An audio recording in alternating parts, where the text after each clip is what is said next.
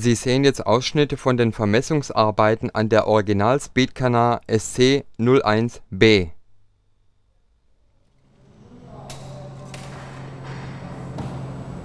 Die hat eine Länge von 84 cm.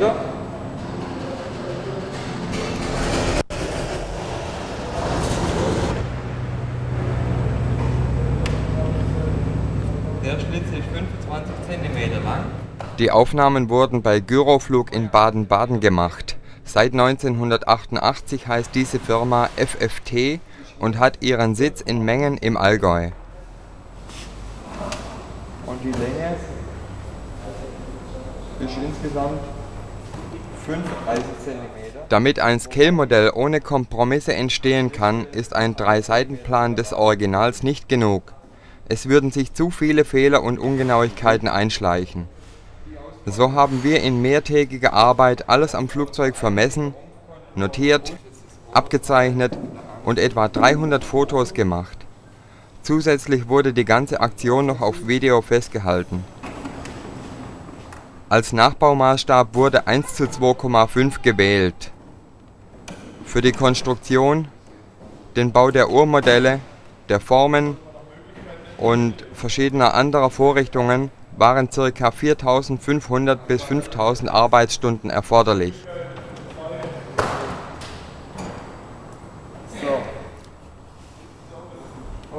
In 46 verschiedenen, zum Teil mehrteiligen Formen werden die Teile des Modells in höchster Präzision gefertigt. Der Vorderflügel und die Hauptflügel sind in GFK-Schalentechnik hergestellt, unter Verwendung von Kohlefaserholmen. Die Querruder und Seitenruder sind leichtgängig, spaltfrei und unsichtbar gelagert.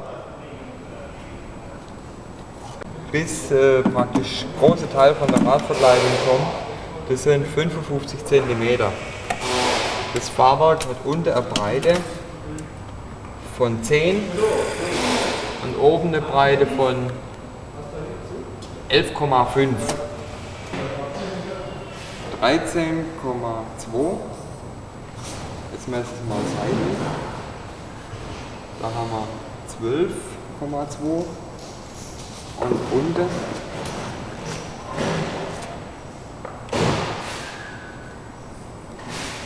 zwölf Komma fünf.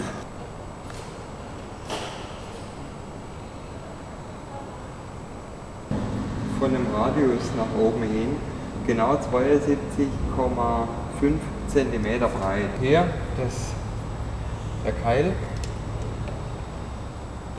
ist 17 cm lang.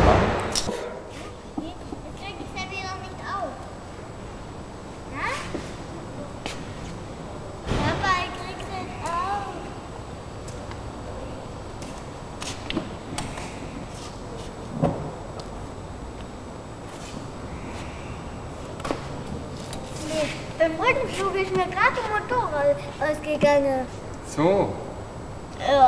Ist hier der Motor ausgegangen. Ach, hier. Dann gleich mal wieder starten. Wieder bis hierher. Papa, kannst du das da irgendwie Die Höhe ist raus- Oh, das da rausgemacht? 26 cm. Genau 22. Gib mal Querruder.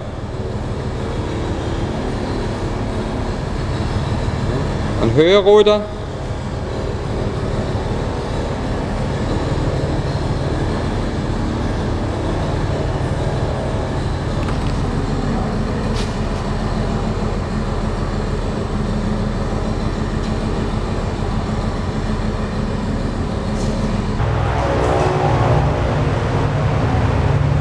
Das Ei ist 35 cm lang.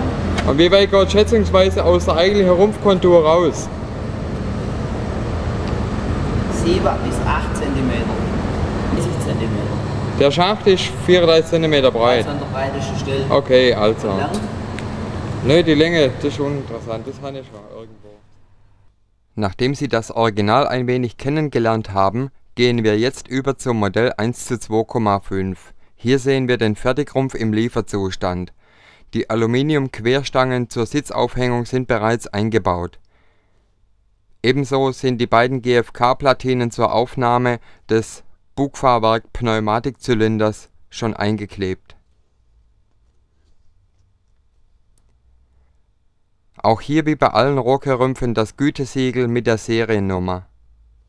Das Brandschott aus Sperrholz ist passgenau einlaminiert, die große Öffnung geht nach hinten in den Tankraum dessen hinterer Abschluss gleichzeitig als Motorträger dient. An der weißen Fläche hier wird der Motor angeschraubt. Hier sehen Sie den Kühllufteinlauf und die formschlüssige Fahrwerksauflage.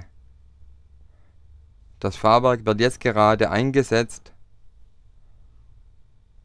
Drei M6-Schrauben übernehmen die Verbindung zum Rumpf. Vom Rumpfinneren her werden M6-Muttern eingeklebt. Zum Schluss wird noch die GFK-Fahrwerksschachtabdeckung eingesetzt und mit zwei M4-Inbusschrauben befestigt. Das Bugfahrwerksbein wird in GFK-Kohlebauweise hergestellt. Zwei Kugellager zur Aufnahme des Radträgers sind schon eingepresst. Der Radträger wird mittels eines Aluminiumdrehteiles in den Kugellagern drehbar aufgenommen. Der Einbau des Bugfahrwerks im Rumpf ist denkbar einfach, weil alle Bohrungen passgenau angefertigt sind. Ein 6 mm Stahlbolzen dient als Schwenkachse. Nachdem die Öffnung für den Halogenscheinwerfer gemacht wurde, kann dieser eingeklebt werden. Das Abdeckglas wird nach dem Zurechtschneiden mit zwei kleinen Schrauben am Rumpf gehalten die Motorhaubenunterseite hat Passnoppen, welche in den Gegenstücken des Rumpfes verrutschsicher einrasten. Die Motorhaube wird mit Blechschrauben befestigt. Hier die GFK-Radverkleidungen, sehr passgenau und leicht. Der zweiteilige GFK-Spinner kann sowohl für Zweiblatt wie auch Dreiblatt-Luftschrauben verwendet werden die drei Antennenflossen werden unten am Rumpf angeschraubt, links vorne die Bugfahrwerksabdeckung. Der Vorderflügel ist komplett fertig zum Anschrauben. Wie beim Original ist er auch bei unserem Modell mit einem Spaltruder ausgerüstet. Unten sehen Sie die außenliegende Drehachse. Das Bugfahrwerk wird mit Druckluft betrieben ein solider Pneumatikzylinder übernimmt das Festhalten und die Federung sowie Aus und Einfahren. Gesteuert wird dies über das absolut leckfreie Roke Pneumatikventil, vorne im Rumpf auf der Servoplatte eingebaut. Der Druckluftvorrat kommt aus einer leeren PU-Schaum-Aluminiumdose, die mit Schlauch-Schraubanschlüssen versehen ist mit dem in der Instrumententafel eingesetzten Manometer überwachen Sie die gesamte Pneumatik. Zwei starke Servos steuern die Bremszylinder an, welche bei 5 kg Schubkraft die Bremsscheiben mit jeweils 50 kPa festhalten. Hier wird erst links und rechts, danach synchron gebremst. Die Bremsleitungen sind hier links und rechts der Druckflasche am Rumpfboden entlang verlegt und münden im Anschluss beim Hauptfahrwerk dieser dient gleichzeitig zum Entlüften der Bremse. Unten beim Bremssattel endet die Druckleitung. Die Bremssättel sind schwimmend gelagert und ermöglichen sehr gefühlvolles Lenken und Bremsen. Die Stahlbremsscheiben sind über GFK-Formteile mit der Radfelge fest verankert. In diesem Modell ist ein 50 Kubikzentimeter OS Gemini eingebaut.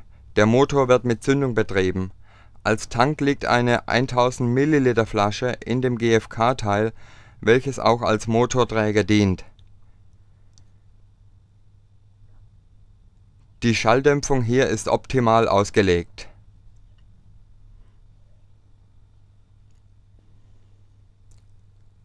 Die Kabinenstoßdämpfer sind nur Attrappen, diese können Sie auf Wunsch von uns beziehen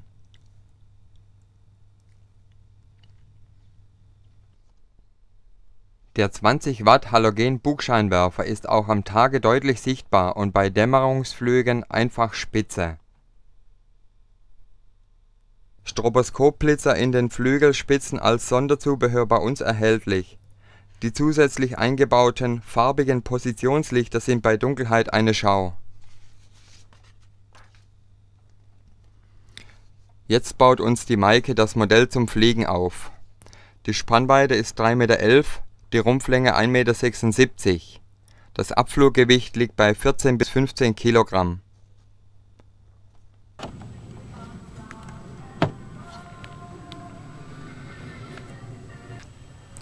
Das Festhalten der Flügelrohre übernehmen M6 Imbusschrauben, die von unten zugänglich sind.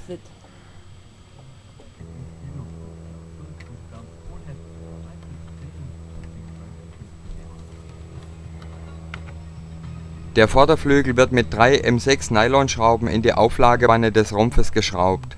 Anschließend hängt man vom Rumpfinneren her das Rudergestänge ins Servo ein.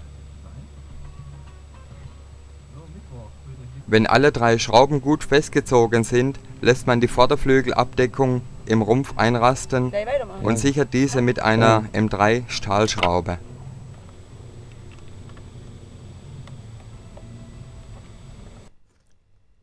Nach dem Auftanken und kompletten Rudercheck ist das Modell jetzt flugbereit.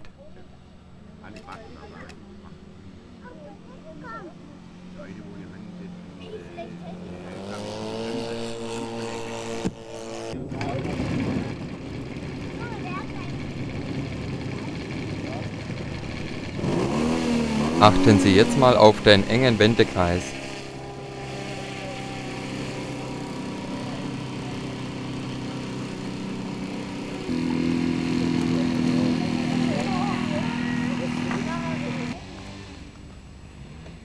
Als Startstrecke werden je nach Motorisierung und Windverhältnissen 30 bis 80 Meter Piste benötigt.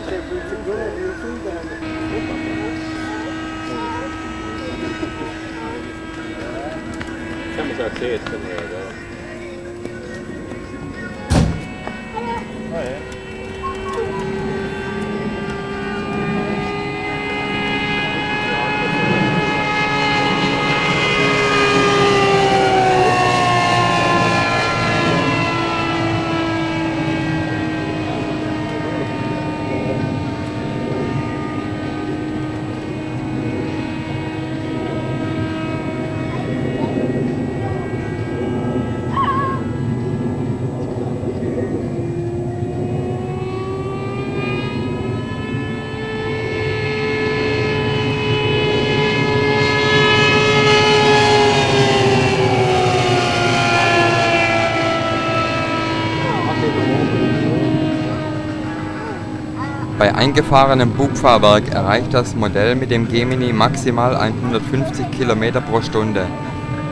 Wenn das Fahrwerk draußen ist, sind es ca. 10 km pro Stunde weniger.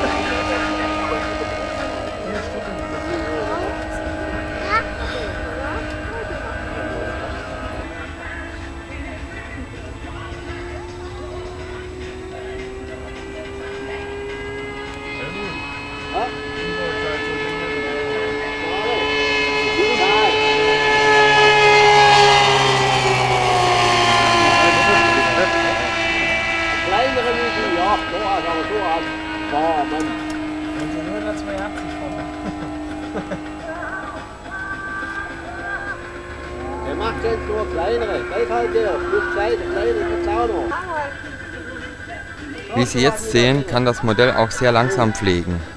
Die langsamste sichere Geschwindigkeit liegt bei ca. 40 km pro Stunde.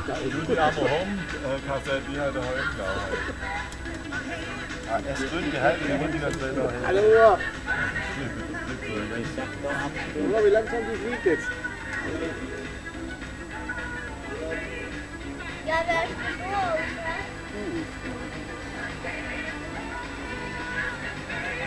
Wie wird denen mit dem Film Ja, meine Vater ist so dick, der braucht gar kein Kabel zum Anlaufen lassen.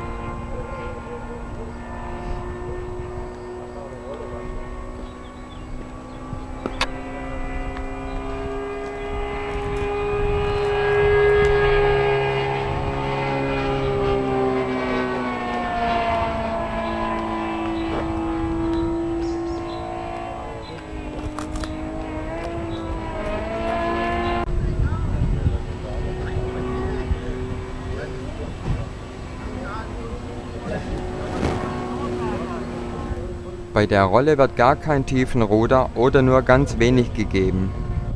Wird im Rücken zu viel gedrückt, klappt das Modell mit der Nase nach oben, schießt mit der Kabinenhaube nach vorne bis die Fahrt weg ist, um anschließend die Nase nach unten zu nehmen. Es wird dann mit Höhenruder abgefangen. Man verliert bei dieser Aktion ca. 15 bis 25 Meter an Höhe.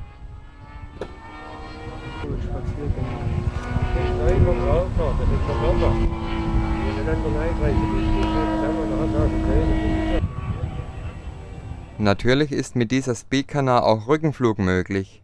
Allerdings dürfen Sie auch hier nur ganz wenig Tiefenruder geben. Dieser Rückenflug wird ausgeleitet mit einem engen Aufschwung.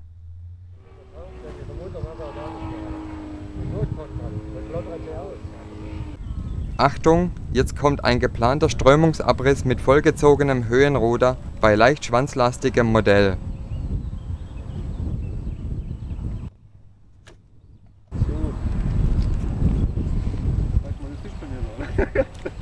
Das Modell eiert und tänzelt schon lange, bevor es gefährlich wird.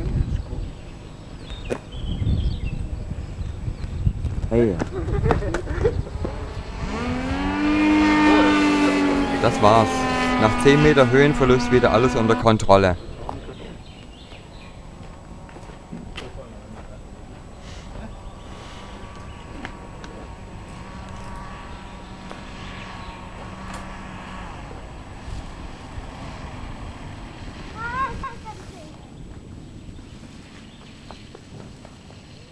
Ein bisschen weniger ziehen hätte auch gereicht.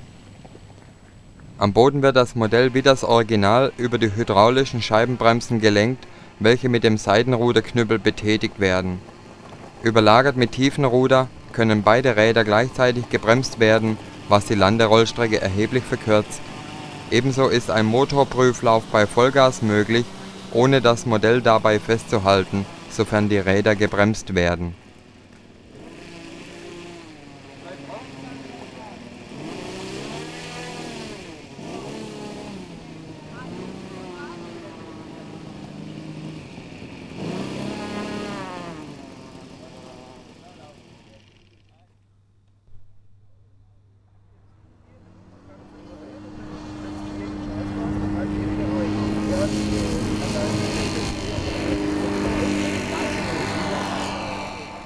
Diese Aufnahmen entstanden im Juli 1988 in Stockstadt bei Aschaffenburg beim dortigen Flugtag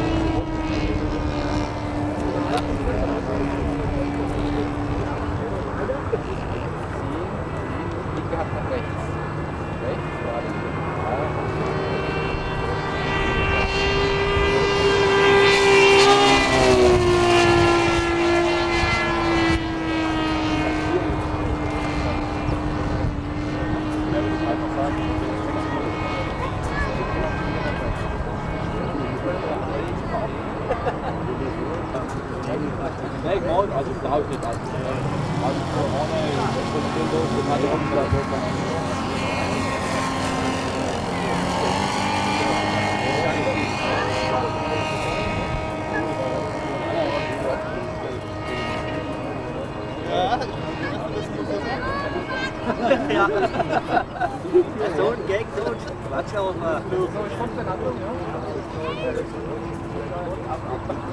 von Herrn Roland Kern. Die Spannweite der Maschine beträgt 3,11 Meter. Als Besonderheit, diese Maschine hat am Hauptfahrwerk, das nicht eingefahren werden kann, hydraulische Bremsen. Angelegt wird das Modell für ein 50 cm Wechselmotor. Die Fluggeschwindigkeit des Modells ist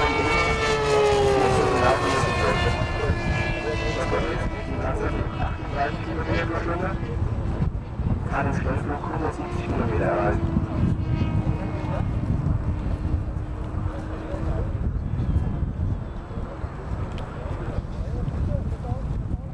Was ich über für dieses Modell interessieren würde, das Modell ist auch als Werbebausatz zu haben.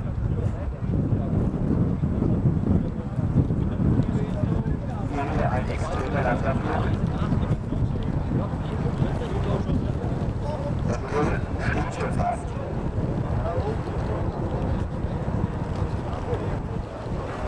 Von Herrn Kern. Wie gesagt, die Maschine hat ein Einzelfahrwerk. Die Spannweite 3,11 Meter. Die Maschine fährt im Flug. Aufschluss.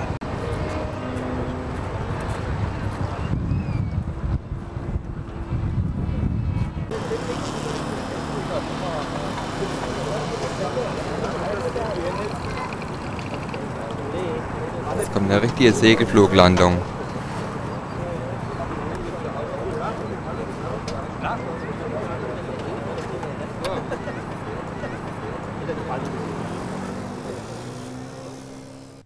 Das Interesse. Sollten Sie